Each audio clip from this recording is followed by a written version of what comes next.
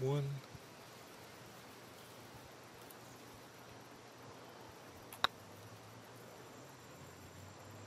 Yeah. Um. What? This one's just a three.